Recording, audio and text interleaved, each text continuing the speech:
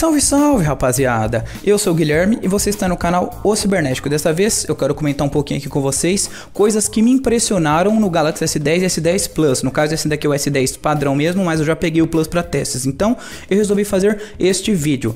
Esse daqui ele tá com essa capinha da Samsung, né, Clearview, muito bonito, ó. Você coloca aqui, ela abre e desbloqueia na hora. Você fecha, também você consegue ficar vendo as coisas no Always On. Tá, mas eu não vou falar isso que me impressiona, porque isso tem desde as antigas lá. A primeira coisa só de abrir a tela, que me impressiona que vocês estão vendo aqui, ó, o brilho já tá nem tá no máximo. Olha só a nitidez dessa tela desse papel de parede. Cara, é muito bonito. Muito bonito mesmo. Isso daqui não tem como não se impressionar. Na verdade, todas as telas da Samsung me impressionam, né? Desde o S6, S7, parecia que a tela tava saindo para fora do smartphone. Essa daqui ainda mais, ó, não parece que a tela tá saltando para fora na sua mão. A nitidez é incrível. Ele possui uma tela daquela Dynamic AMOLED e parece que por ela ser menor também, ela tem uma nitidez um pouquinho melhor que a do Plus. Deixa eu estar desbloqueando ele aqui. Só que os dois são incríveis, cara. Até a tela do S10e, só que ela é de mais baixo custo, mas você consegue estar tá vendo tudo com perfeito estado. Deixa minha câmera focar aqui, né? Esse que é o problema. Você não consegue enxergar os pixels e se aumentar o brilho no máximo do máximo, olha só, até estoura seu olho de tão bonita que é, tão viva. Eu tô falando isso porque eu ainda não peguei a tela do Note 10. Se você dá uma olhada na linha Note, as telas possuem ainda mais nits que essa daqui. Então, é uma tela mais brilhante. Para quem não sabe, nits é uma medição aí que dá do brilho. Quanto maior, mais brilho a tela tem. E melhor é também, né? Pelo menos na teoria. E não tem como eu não falar isso, porque isso me impressionou de verdade. Tirando a tela, outra coisa que me impressionou, pode parecer bobo para muitos, uh, mas é o seu design. Ele é bem fino ainda que essa capinha aqui dá um pezinho a mais, uma largurinha a mais para o aparelho, mas o design impressiona, principalmente desse S10 aqui no modelo padrão, já que ele é menor, se encaixa melhor na minha mão, que eu tenho uma mão menor, né? Eu gosto de aparelhos com telas grandes, eu até prefiro, só que às vezes é legal você pegar um aparelho mais compacto nos dias de hoje, que só tem telas aí acima de 6, 7 polegadas, a tendência é aumentar cada vez mais. Só que o que dá o destaque mesmo pro design, deixando ele ainda mais moderno, é o sucessor do Infinity Display, que tinha no S8 e no S9, que já era bem atual. Aqui temos o Infinity O, que é esse recorte a laser aqui no canto da tela, abrigando a câmera e alguns sensores, o que significa que você consegue ter mais tela com menos bordas. Uma proporção de tela muito boa, entregando cada vez mais para o usuário. E também eu gostei mais dessa versão aqui, apesar dele ter a desvantagem de ter apenas uma câmera frontal, se a gente olhar para o lado bom, uma câmera frontal ocupa menos espaço quando você está assistindo vídeo, fazendo essas coisas, né? Já que a câmera dupla ficava num formato redondo de pílula aqui e daí ocupava mais tela ainda, né? Então isso daí também é uma coisa que me chamou atenção nesse modelo aqui que eu gostei bastante. Tirando essas coisas básicas que a gente já tinha visto, que também me chamou atenção, é o Wireless Power Share, que eu já fiz um vídeo exclusivo falando somente disso. Você desce aqui a central e vem aqui, ó, Wireless Power Share ativa eu no momento não tenho nada para mostrar para vocês, né? Mas quem quiser ver, o vídeo vai estar tá em cima, beleza? Depois você confere lá. Você conecta aqui, ativa ele, pode fechar o seu aparelho. Vocês estão vendo essa luz azulzinha aqui? Coloca ele aqui. Daí você coloca o outro aparelho, seja lá o que for, como vamos supor que esse vaso é um Galaxy S9. Você coloca aqui em cima e pronto, vai começar a carregar. Nossa, que exemplo idiota que eu dei, mas vocês entenderam, né? Isso daí sim é uma coisa que impressiona, apesar de não ser, oh, incrível que vai mudar a minha vida, é uma tecnologia tecnologia que move o mercado sim, já que outras empresas também estão colocando, como a Huawei nos seus aparelhos mais modernos aí. Então, achei bem legal. Na verdade, a Huawei colocou primeiro que a Samsung, tá? Mas é legal a gente ver, né? Tem que ter uma rixa entre as empresas aí, senão não vai para frente. De cara também, eu não posso esquecer de mencionar o leitor de impressões digitais ultrassônico aqui na traseira. Olha só, já cadastrei ele no meu outro vídeo.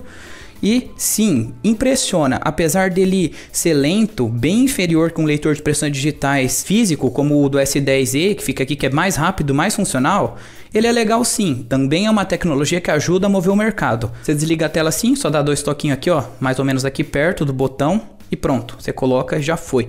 E vale destaque também mencionar que na última atualização que teve, na verdade já faz um bom tempo, ele melhorou a estabilidade, que era bem mais lenta. O pessoal fala, eu não consegui presenciar isso, talvez o, os aparelhos que eu peguei já tinham atualizado, né? Mas se a gente vir aqui em informações de software, tá na versão da One UI 1.1, também aqui em atualizações de software, a última atualização, o último update de correção foi 29 de julho de 2019. Então é bem recente aí.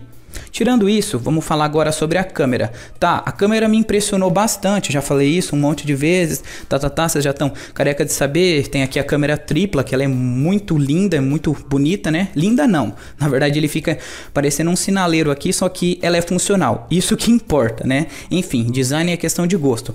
Se a gente vir na câmera, impressiona, ó. Você vem aqui, você pode estar utilizando as três câmeras. Sim, geralmente nos smartphones que eu pegava aí, só tinha uma câmera que não era para o usuário, era apenas para medir profundidade. Aqui não, aqui todas as câmeras são para o usuário. Ó, aqui a gente pode ver pelos risquinhos. Essa daqui é a câmera principal, essa daqui é a câmera ultra wide. Olha só o tanto de coisa que ela pega. Ó, pegou a mesa inteira aqui. e a câmera zoom. Essa daqui é a câmera zoom, olha só.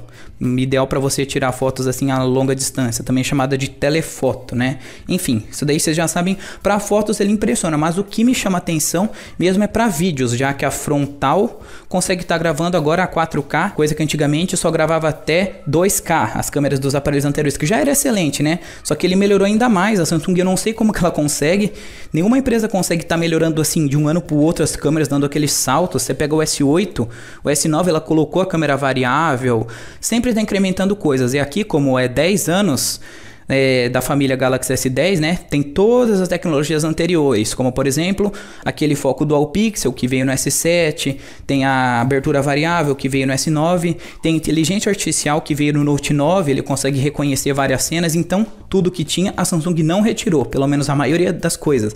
E sim, ela só somou. Ó, vocês estão vendo que eu tô gravando aqui com o meu S8 e o que, que vocês acham? A câmera dele para mim é excelente, até na questão de vídeos, ainda que aqui, ó, nem tá um ambiente tão bem iluminado, né? Mas eu tô improvisando aqui, então linha S domina, cara, é bom demais. Mais legal ainda que isso é as novidades que ele veio agora com a super estabilização de imagem, que para mim é excelente, eu não preciso nem mencionar. O ano passado ele tinha vindo com o Super Slow Motion até 960 quadros por segundo, continua com isso também, só que acrescentou isso e também acrescentou o microfone estéreo. Sim, você tem uma captação de áudio incrível, é uma das melhores captações de áudio que eu já vi. Se eu não me engano, esse aparelho aqui tem três microfones que te ajuda assim a estar tá captando vídeos cada vez melhores. Antigamente a Apple, pelo menos na minha opinião, superava a Samsung em vídeo. Só que agora nem isso mais ela está conseguindo, né? Já que a Samsung correu atrás do prejuízo e conseguiu entregar uma câmera excelente. Tá, chega de falar de câmera, senão vou ficar o dia inteiro falando disso daqui.